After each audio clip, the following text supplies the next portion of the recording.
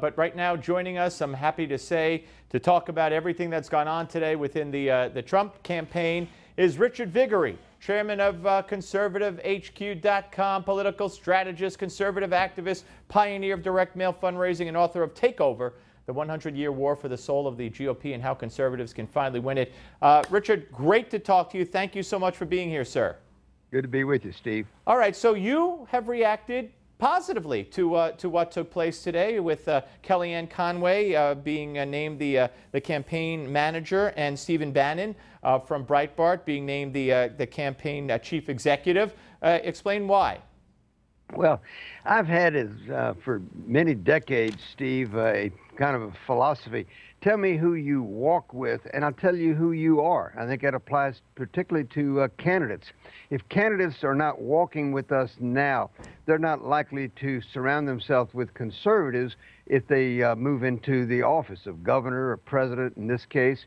And personnel is policy. And uh, a candidate can promise us the sun, the moon, the stars, but if all they surround themselves with, as most establishment Republicans like the Bushes do, is big government, uh, Wall Street types, our issues are over with. We, we've lost. So uh, if you look at uh, Donald Trump's campaign now, it's basically made up of movement conservatives Kellyanne Conway, Steve Bannon, uh, Jeff Sessions, Mike Pence. These are charter members of the conservative movement. It's, uh, it's very exciting. I haven't seen anything like this since uh, the 1980 Reagan campaign against Carter.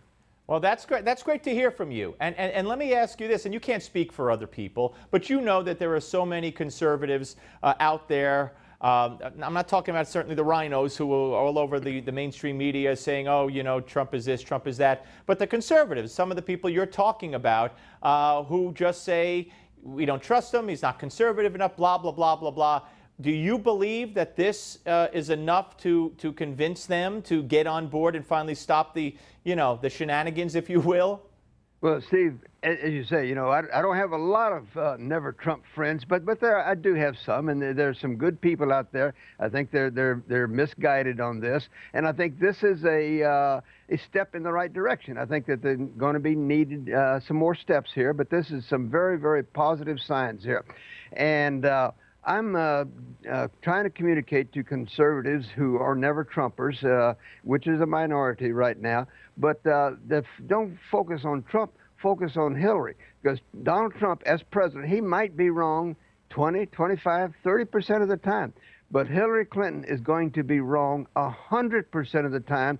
And if Trump is president, he will never get up in the morning like Hillary will, two, three, four times every day, thinking, what things can I do today to crush conservatives, put them out of business, put many of them in jail. Her goal will be to destroy the conservative movement. Donald Trump will be helping to advance the conservative movement. And that's something I never understood. People who pride themselves on being constitutionalists, for example, have to know uh, Richard, that uh, Hillary Clinton's Supreme Court uh, uh appointments will not only uh, eviscerate the Second Amendment, but eviscerate to a great extent the First Amendment. We see these hate speech laws. Look at London. The mayor of London now is working with the social media outlets to, to police the, uh, the, the social media for hate speech. We have hate speech in Europe, in Canada. You know and I know, and they have to know, the conservatives in this country who are not on board with Trump, that Hillary will limit free speech as well. So how is it even a contest for them?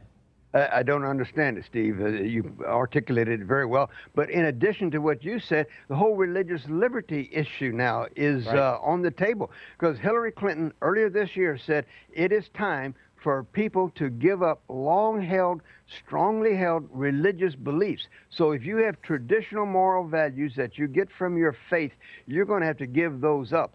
I mean, that issue alone should sink her campaign. Absolutely. What do, what do you make of the, I mean, it's a leading question. It's one of those softballs. the media coverage. I mean, Richard, for crying out loud. I mean, in a week where there was revelations, the FBI wanted to investigate the Clinton Foundation and the Justice Department said no. That's on the heels of the DOJ head meeting with Clinton on a plane. Uh, you had pay-for-play revelations. You had the revelation that Cheryl Mills came to New York to hire someone for the Clinton Foundation. And all they talked about was what Donald Trump said, what Donald Trump meant. She's skating on all of this. Yeah, uh, you're exactly right, Steve. But uh, sometimes I jokingly refer to myself as 003, which means I've been active at the national level of the conservative movement longer than every living conservative except two others. So I go back before the Goldwater campaign. And uh, we, we have uh, won some uh, races like uh, Ronald Reagan, 80, 84. George uh, H.W. Bush is in 88. When he ran, he ran as a conservative. So we know how to win. We, uh, we have control, Republicans do, of Congress now and have for the most part for many years now. We know how to uh, win elections in opposition to the media.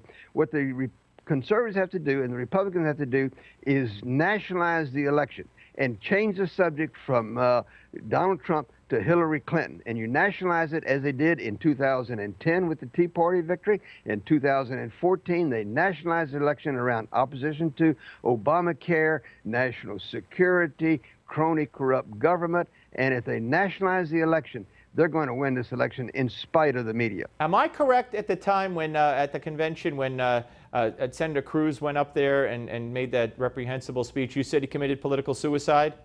Yes, okay. I was on the floor yes, of the convention yes. then. exactly. I, I, remember reporting that the next day. Okay, so I am right. Uh, so, so let me ask you this. Trump has said a lot of things. As far as the electorate goes, as far as being a presidential candidate goes, as far as the ability to win this election still, uh, do you believe he has done or said anything that has been uh, politically suicidal or may, may turn out to be politically suicidal? Well, Steve, the, the thing that uh, I'm, I'm very critical of, uh, of Donald Trump in, in one area. Uh, I've said for over a year the Republicans have to do two things to win. If they do these two things, they will win this election. Uh, number two was be a fighter. You must have a candidate. You can't be somebody like Jeb Bush who's, who's not a fighter. And so they've got a fighter in Donald Trump for certain. And the number one thing they have to do, though, is unite the party. Uh, and the base of the party is right now not all on board. The cultural conservatives are not on board. A lot of the movement conservatives are not on board. And Donald Trump, it's his responsibility to reach out and bring those people on board. He's not done a good job on that. He's been too critical of a lot of our conservative uh, heroes out there. Right. And he needs to unite the party. And if he unites the, the base of the party, he will be the next president. Excellent. Uh, Richard, an honor, and I hope you'll come back, sir. Thank you so much. A pleasure. Richard Viguerie, ladies and gentlemen, the one and the only. All right, uh, we have a full show for you. We're going to discuss all this and more with the former governor of the state of New Hampshire, of course, John Sununu. He will join us next. Uh, we have a, a, lot in store. Your phone calls as well, of course, because that's what we try to do here at Newsmax. And uh, that's different than every other network out there. 877 Newsmax, 877 Newsmax. That is the number. A lot to get to today, a busy show as you can tell already. You're watching the Steve Malzberg Show right here. We are live on Newsmax Television. Don't go away.